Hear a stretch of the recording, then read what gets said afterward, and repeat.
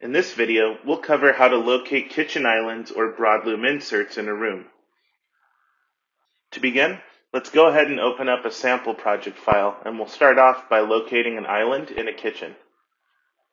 When working on site, it can often be a little tricky to locate an object that's floating in the middle of a room. To begin, we'll go to the Drawing Tools icon and tap on the Dimension Line option.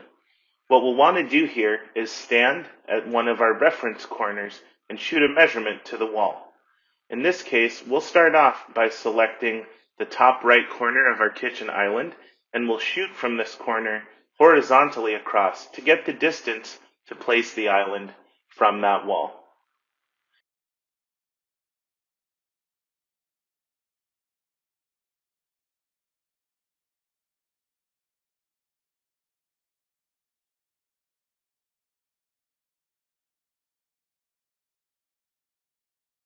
Next, we'll stand in the same spot, but we'll take a vertical measurement from that same location off of a reference wall to get started. In this case, we're using our laser and then we're modifying the dimensions by hand to simulate what's going on. In our case, our island will start at 11 feet 4 inches by 6 feet. Now that we have this corner located, we can use our laser to actually draw out the island to size. We'll use the elevation tool here, and we can either use the laser to capture the measurements or swipe them in manually. In our case, our island will be 3 feet wide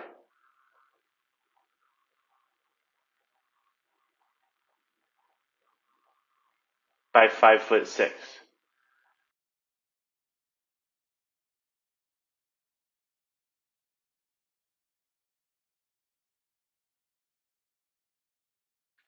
We can then swipe to close out the shape. In this way, we can locate the location of an object floating in the center of a room.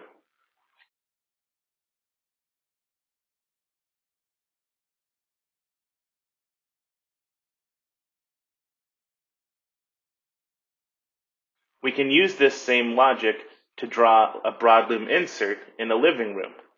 Again, we'll use our dimension tool and we'll stand in a reference corner.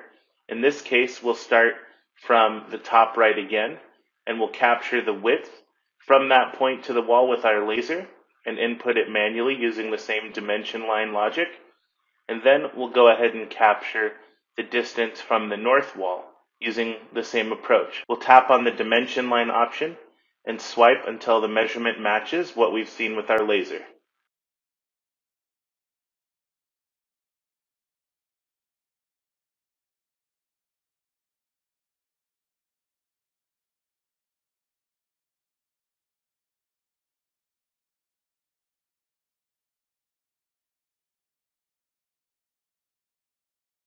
We can then use the laser to size the object just like we did with the kitchen island.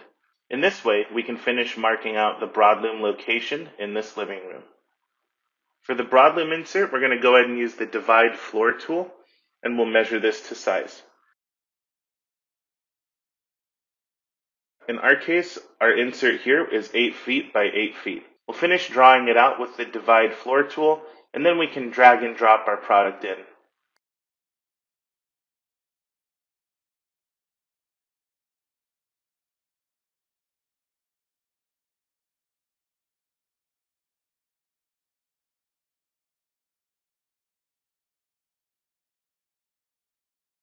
In this case, we'll go ahead and use a 12 foot carpet for our example. Thanks for watching the video on how to locate inserts in kitchen islands.